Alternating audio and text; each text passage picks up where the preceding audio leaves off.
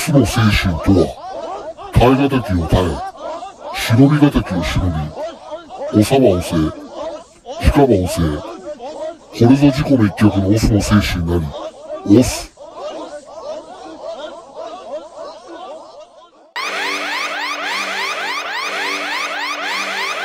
この番組は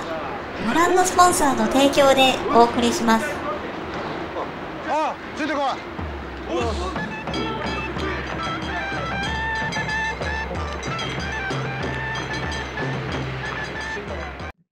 はい、どうも、レシデンチャンネルです。本日もご視聴ご清聴誠にありがとうございます。本日もよろしくお願いいたします。えー本日のお話なんですが、えっ、とね、えー歌舞伎町のね、大久保公園周辺の、まあ、都立大久保病院の、えー例のね、立ちんぼが、えー多くね、集まる、えースポットについて、場所についてね、ちょっとお話しさせていただこうかなと思っております。やはりね、やっぱり最近、えっ、と、当チャンネルをね、やっぱりその立ちんぼやってる子たちが見てるのか、えー見てる可能性が非常に高くて、まあ、うちのチャンネルの前回のね、放送のね、影響もありまして、まあ、立ちんぼのね、数が、えー、格段にね、減りつつあるっていう情報をちょっと入手しました。で、私もね、えー先日ちょっと、まあ、現場調査という形で、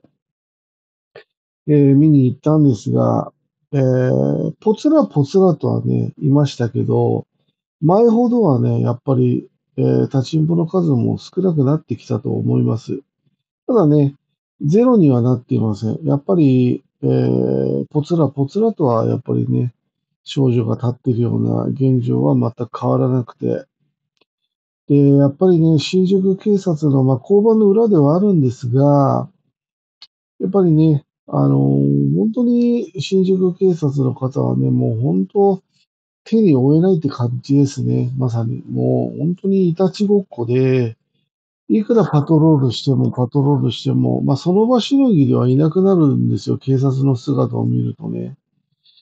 だけどやっぱり一向に、まあ減る、えーこともなくて、まあいろいろ私服警官の方たちがなんかまあ、えー現場にね、立ってまあ監視してる、随時監視してるっていう情報も得ました。まあちょっとね、事情通の方からなんですが、ただまあ、いろいろね、やっぱりまあ、えー、あとは立たない。まあ、とにかく、えーひっきりなしにね、まあ以前ほどではないんですが、まあぽつらぽつらと、まあ立ちんぼ少女が、まあ遠行っていうんですかね、パパ活っていうんですか、そういうのを求めて、まあ立ってるような始末です。は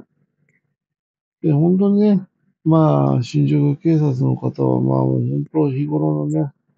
パトロールの会もあってかわかりませんが、まあ、おそらく警察の、えー取締りってよりかは、まあ、このインターネットにおいてね、まあ、へまあ、うちのチャンネル、まあ、前回のね、動画の反響が結構大きかったみたいで、まあ、結構ね、あのー立ちんぼの数が減ってる感じですかね。まあ、本当にね、このぼ病気が、まあ性病がね、えー、蔓延する、えー原因になるのと、まあ、あとはね、えーなんか事故やね、事件に発展しちゃいますから、やっぱりそういうことは本当にやめた方がいいと思います。まあ、そのパパ活やってるね、少女たちもやっぱ生活ができなくてね、各自、まあ、いろんな事情を抱えてるとは思うんですけど、やっぱり違法行為っていうのはやっぱりやっちゃいけないですよ。やっぱりね、そういった、えー、綺麗なね、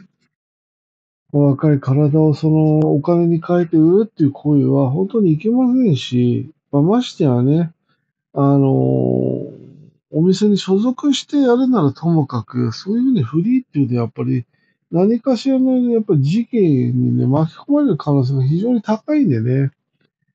やっぱり本当にやめていただきたいと思います。はい。やっぱり本当にね、こういった、やっぱり、あの、行為は本当にね、あの、事件に巻き込まれるケースが非常に高いので、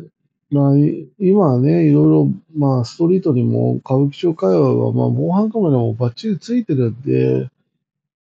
まあね、昔よりかは安全性は高いかとは思いますが、でもやっぱ密室に入ればわかりませんから、そういうことも踏まえてね、ぜひ本当にやめていただきたいと思います。うん、本当にやめてください。もしね、そういうふうにまあ売春行為、まあ体を売ることでお金を稼ぎたかったら、まあちゃんとしたお店に面接に行ってね、そういうやっぱりちゃんとしたね、管理の上で、管理の下でね、ちゃんとお店に在籍して、ちゃんとしたじゅ、あの、そういうところに勤めていただければと思います。本当にいろんな意味でね。前回の動画でも私も説明しましたが、やっぱりね、いろんな意味でちょっと良くないので、それに関してはね、本当に、えー改めていただきたいと思います。イランもそうかもしれませんけど、やっぱり日本をね、やっぱり綺麗にする。やっぱりこうやっていろんな環境が、観光客のね、皆様が、まあ、日本にいらっしゃってるわけですから、からそういうね、あの、日本のその集体みたいなのを、やっぱりね、あの、外国の方に、まあ、